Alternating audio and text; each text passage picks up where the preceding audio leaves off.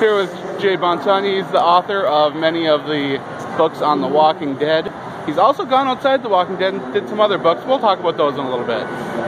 Okay, Cool. so first off, we're here at Walker Stalker Con in Chicago. And you are known... I don't. I wouldn't want to be anywhere else on the planet right now. This is the most fun an author could imagine having. Just to see these, you know, devoted fans, these these serious, avid fans of of the Walking Dead franchise, and the the, the fans that read the books, which is a smaller subset, but they are just so, uh, you know, loyal and it's such a treat to be an author, which is like a lonely job. You sit in a room and you, you just type away on a keyboard.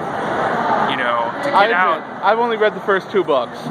I'm not quite through them. I'm but I've very proud them. of those those two books. That tho- those are the two origin stories: the, the Rise of the Governor and the Road to Woodbury. Is kind of the origin story of these two kind of epic heroes that I write about. So what is it about the governor? What what is it that made you just so drawn to him? Because you explain him in a lot of detail that even the show I don't think could pull off. Right.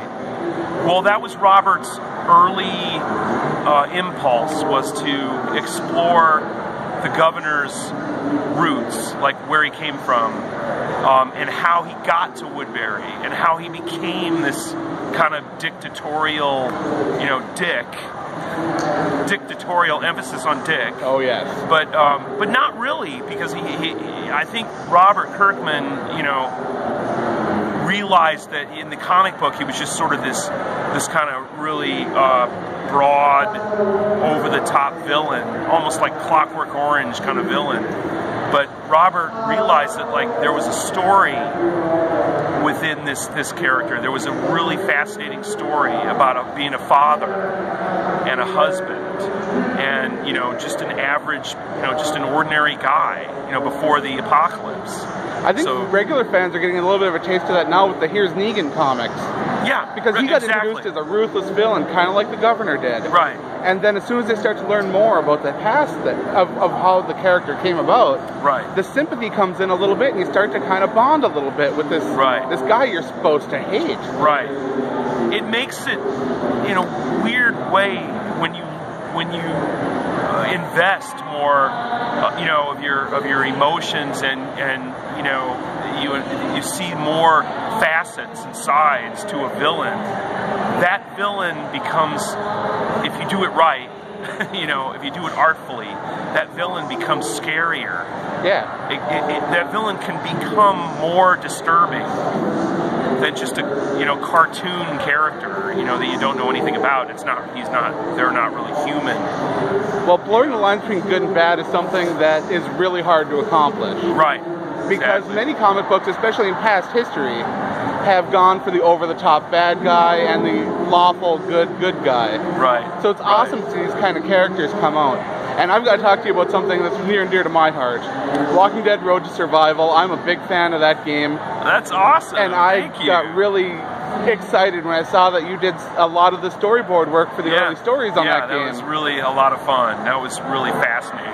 Because it's just the opening to that game, even if you don't play the game, if you download it and install it and watch through the first opening sequence, that should be enough to get anybody hooked. Thank you. That's good. I'm glad. I'm glad to hear you say that. Like we, we. I mean, that was the first game I'd ever worked on in my career, and um, you know, I got to take my hat off to a, a, great game writer, Michael McCarthy, who I um, worked with on that, and um, he's a veteran game writer, and, and he really, you know, he kind of mentored me and taught me that medium it's a completely different medium. I worked uh, a little bit as a consultant on the Michonne Telltale game, And I love those games as well. and uh, thank you. And you know that's a completely different experience than a mobile game, a free-to-play mobile game.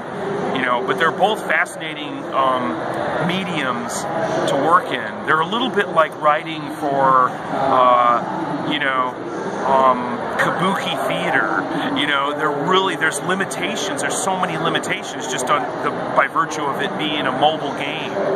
You know, and um, I remember when I was first starting, I'm like, uh, are we, are you going to get you know, I was talking to one of the producers, you know, oh, are you going to get like really good voice actors to voice this? And it's like, oh, people don't really, people don't really listen to these games. I'm like, excuse me? Now they really don't listen to them. I'm like, okay, so, you know, I kept learning about like this, this, you know, this stage that we were going to tell this story on, you know, and it got, and in a weird way, it was both more difficult and more interesting. Like the more limitations that we had, the more interesting it got working on this mobile game. And, I, am really proud of what, you know, the ultimate product, you know. Now, some of the characters you've written in your books have translated over to the show as well. Yeah, yeah, yeah. Uh, yeah. Tara is a unique character to the show that that came from the books. I appreciate uh, uh, that shout out to the book Tara, Yeah, I love the Tara character she's different. Yeah. I love both incarnations. They kind of, hippied her down a little bit. Right. Right. But she's still that fun-loving, free spirit. Yeah, and she brings right. that dose of comedy and kind of sarcasm exactly. wit, which the book. My my, my Tara, well, you know, the Tara that that Robert and I had in that first book, Rise of the Governor, um, and Robert was the genesis for Tara, but then I was allowed to make to to give her a life yeah. and to make you know give her you know dimensions and like and, and put meat on her bones, you know. And I always thought she was like Delta Burke. She was a sassy, take no prisoners, you know, badass chick. And the Tara in the show kind of took that and morphed it into something younger and, and like you said, more you know Gen Xy, yeah. you know, version of that. But you're right. I mean, the, the spirit of the stuff that happens in the in the books that ends up in the show is really a fascinating kind of iteration of it. It's it's a, it's a you know I call it the Kirkman calculus. It's just everything is just kind of like fed into this strange prism, and it comes out the other side like refracted in a different. You know, now we've talked about Kirkman a lot. It helps if you get stoned. I bet doing it, it. I don't mean you, Robert.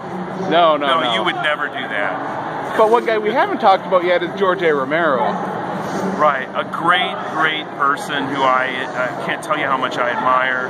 I see a lot of parallels between him and Robert. Ro- he, and Robert, you worked with both of them. I worked with both of them, and they remind me of each other on some levels. You know, um, Robert is kind of the um, the American South version of um, Romero. Romero is sort of like the northern Rust Belt, urban, um, you know, uh, uh, salt of the earth guy. He's, he's, a, he's a, you know, you know, speaking of stoners, you know, you know, Romero is like, you know, he's a, he's a, he's a an old hippie.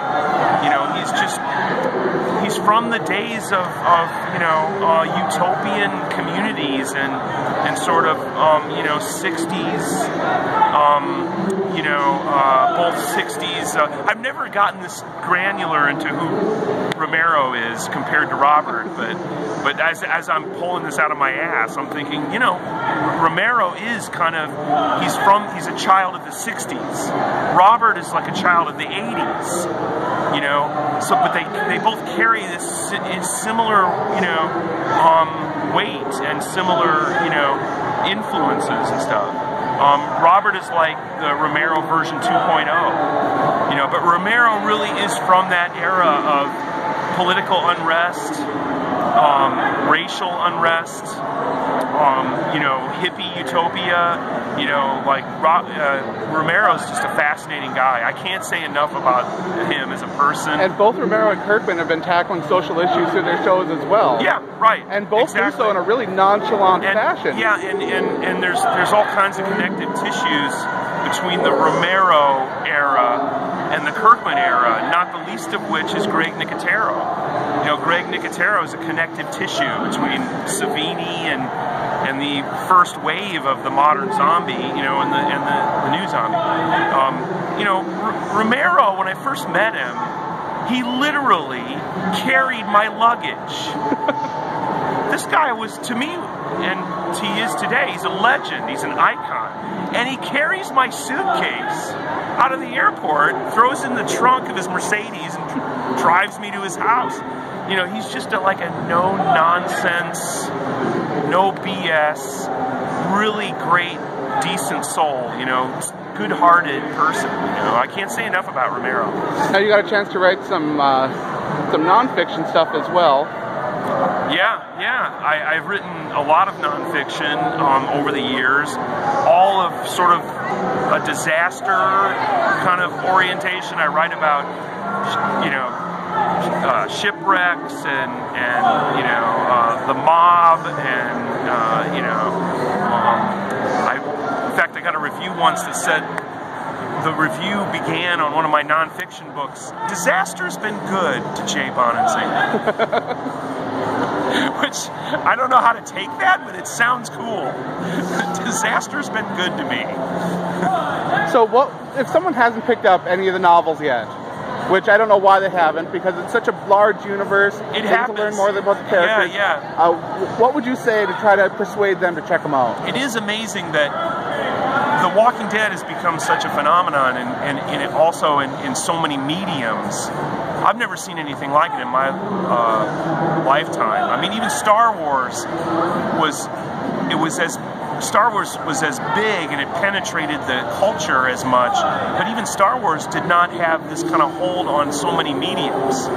The game world, you know, The Walking Dead is a, is a huge force in the game world, you know. Um, but there still are a lot of fans who just, the show is their egress into the Walking Dead world. They know the show, and there's nothing wrong with that, but they don't know that there are these novels, these authorized novels that give, you know, them a literary deep dive into many of these characters that they love, you know, and, the, and many of these situations and locales and stuff from the show that are all, we all go back to the comic. Right. The comic is like the Rosetta Stone, you know, it's, it's where it all started, and, the show and my novels and um, Kirkman's that's Kirkman's genius because Kirkman he's he has this incredible ability to tell this great story in a linear fashion that you're riveted to, but have this gigantic off-screen world. It suggests this gigantic backstory, this these these you know, and so he can explore this for. He, people ask Kirkman, uh, "Have you built in an ending?" to this? And he goes, No. Why? There is no ending. And people think, you know, chuckle and they think he's laughing, but he's serious. Yeah. There, that's not his gestalt, you know. He does. He has no ending for this stuff, which I love. I mean, it's just it's it just keeps flowing. It's this river that just keeps flowing. So we've talked a little bit about some of the characters in your books, but what characters on the show would you like to maybe bring into the books and learn a little bit more about that way? Well, the char- I, I mean, you know, my my favorite character for years was Michonne. Absolutely. I always wanted to do some, you know, write write a piece for her, do something. And Robert came to me one time and he goes, "You're going to get your wish." And I'm like, "Wow." When Robert Kirkman says to you, "You're going to get your wish," it could mean, you know, massive, you know, uh, uh, you know, good fortune, you know. But and I'm like, uh, how so? Because you're going to get to work, you're going to get to work on a Michonne project, and that turned out to be the uh, the Telltale game.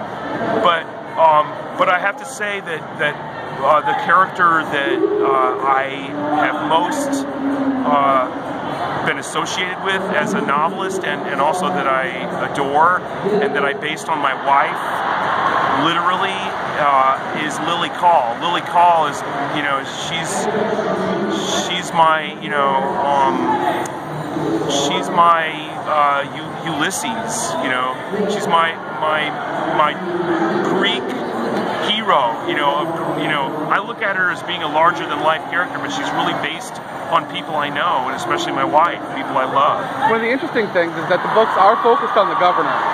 Right. But there's always this little bit pointing back at Lilly. Well, right. even though you're talking about the governor, it's still kind of telling Lilly's story, which I think is a, a great way to kind of set things up for a character transition because I, by now it shouldn't really be too much of a spoiler that the governor, know, he, he does die. Right. It I happens. know. I always say that too. I'm like, well, you know, Lilly. Spoiler alert: Lilly is the character in the comic book who kills the governor. Right. Not a lot of people know that though that aren't familiar with the comic. And, and again, it's this you know different compartmentalization of the fan base. You know, some fans are just they're oriented to the show. They came through the show to the to the franchise, and that's it. But I, I tell most most people who haven't looked at the comic books, I've said these comic books are so riveting that they're like comic books made for people who don't read comic books.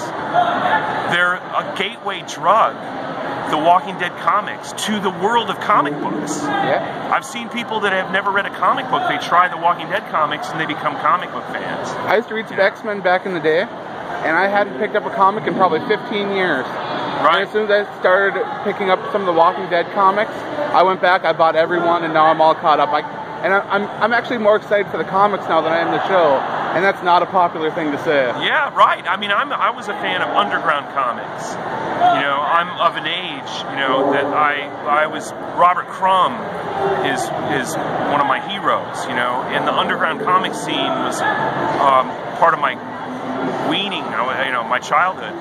But there's something about the Walking Dead comics that harkens back to underground comics. It doesn't.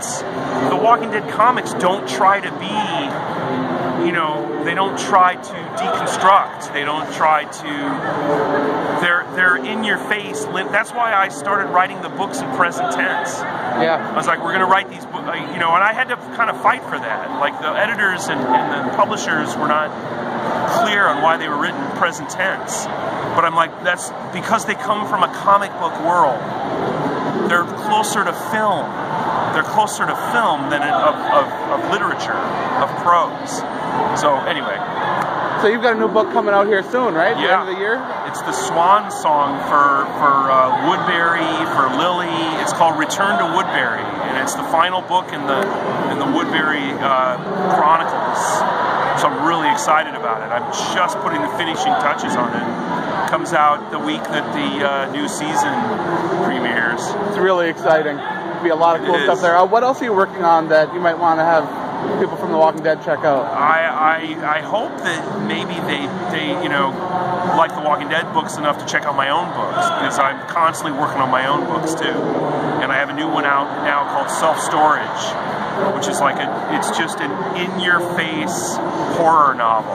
It's it's it goes back to the the glory days of Stephen King horror novels. It's about a father and a son who get locked accidentally in a self storage unit and they have no water and they have no food and they have to survive. It's around the holidays, so there's nobody within miles. And to make it matters worse, the father is a high functioning heroin addict. Oh, So he starts going through withdrawal. There's something creepy about this storage facility in the first place. So it becomes sort of like the shining, but you're not sure what apparitions are just part of his delirium tremens, you know, of being in, in withdrawal. And um, yeah, I'm really proud of that book. You know, people who have read it have said that it's, you know, I. They ask me if I'm if I'm a recovered heroin addict, you know, when they read it. oh, that, that's when you can get an audience to relate like that. That's that's super important. Yeah, thank you. I, I. I, I agree. So anyway, that's that's that's what I'm working on in my own world. Yeah. That is that's that's great. Um, so we're here at Walker Stalker Con. Uh, was there anybody that you hadn't met that you really wanted to see? Well, I mean, uh, you know, JDM, Jeffrey Dean Morgan. I mean, he he's the man. I mean, I got a chance to meet him in Atlanta, and it was a huge treat. I mean, he's just he's he's he's like I have this whole theory about villains, about you know, and we're here with the heroes and villains show and everything. I've written about it, how villains are pussycats Yeah. in real life. They're sweethearts. Go talk to Ron Perlman, you know, talk to Michael Rooker. These people are the friendliest, sweetest, warmest people you will ever meet, and it has something to do with catharsis. You know, they get out their their shadow selves in, in their work, and they're just they're wonderful people. Like they're the people that you want to just go have a beer with. And Jeffrey Dean Morgan is the same. I mean, he's in that you know, I wrote a story about it for an anthology. My story's called Heavy. And I, because I'm so obsessed with meeting all these people. David Morrissey, I consider him a close friend. You know, because of my work on The Walking Dead, and they're they're just the sweetest people. They're, Well, I'd like to thank Yeah. you for taking a minute to, to talk to us here at Undead pleasure. Walking. And it, it's so great to finally get to meet you. back and thanks at you. again. Back at you.